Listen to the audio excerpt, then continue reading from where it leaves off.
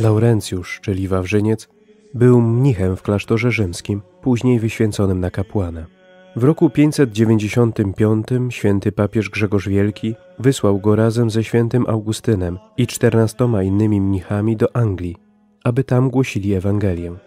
Wręczył im pisma polecające do biskupów Galii i królów frankońskich. Święty Augustyn z polecenia papieża został konsekrowany na arcybiskupa z siedzibą w Canterbury przez arcybiskupa Wirgiliusza w Arles. Mnisi dotarli do Brytanii w 597 roku. Bardzo życzliwie przyjęci przez króla Kentu, Ethelberta I. Ożeniony z córką króla Franków, Bertą, przyjął z rąk świętego Augustyna chrzest, a wraz z nim wielu jego poddanych. Święty Wawrzyniec wraz z mnichem Piotrem zostali wysłani do papieża, aby zdać relacje z postępów chrystianizacji. Wrócił do Anglii w 601 roku razem ze świętym Melitem i świętym Justusem. Otrzymał od papieża paliusz dla świętego Augustyna, a także wiele naczyń, szat i ksiąg liturgicznych. Święty Wawrzyniec pracował pilnie nad nawróceniem Brytów i Anglosasów. Aby misjonarze mogli skutecznie działać, święty Augustyn konsekrował w 604 roku świętego Melita na biskupa wschodniej Saksonii z siedzibą w Londynie, a świętego Justusa na biskupa zachodniej Saksonii z siedzibą w Rochester. Świętego Wawrzyńca ustanowił natomiast swoim koadjutorem i w celu zabezpieczenia sukcesji przyszłym następcą. Po śmierci świętego Augustyna w maju 604 roku został drugim arcybiskupem Canterbury.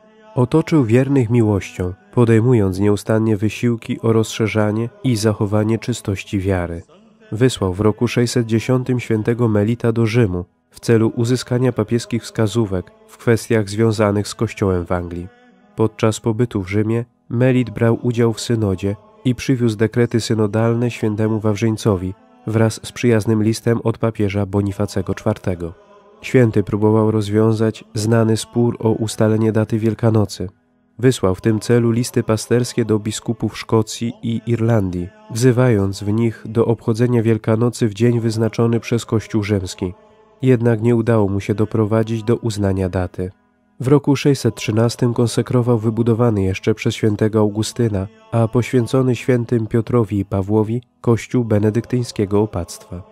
Po śmierci króla Ethelberta I w roku 616 nastał trudny czas dla kościoła w Anglii. Jego syn bowiem powrócił do pogaństwa. Wielu mnichów musiało opuścić Anglię. Po wyjeździe Melita Justusa do Galii, także święty Wawrzyniec zamierzał podążyć za nimi.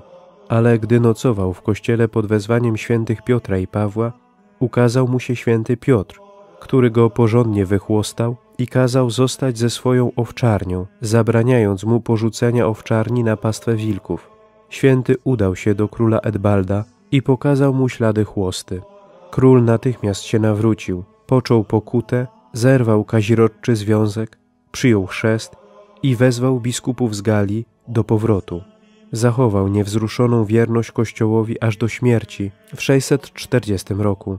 Święty Wawrzyniec zmarł 2 lutego 619 roku. Został pochowany w kościele świętych Piotra i Pawła u boku świętego Augustyna. Dokonał wielu cudów za życia i po śmierci. Jego relikwie zostały przeniesione do kaplicy w kościele pod wezwaniem świętego Augustyna w roku 1091. Módlmy się. Boże, światło i pasterzu wiernych, Ty postawiłeś świętego Wawrzyńca, biskupa, na czele Twojego ludu, aby go karmił słowem i kształtował własnym przykładem. Spraw, abyśmy za jego wstawiennictwem zachowali wiarę, której nauczał i szli drogą, którą nam wskazał.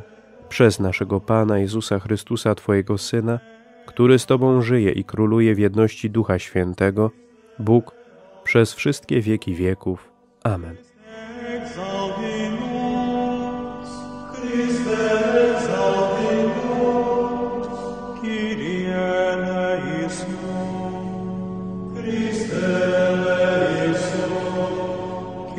Amen.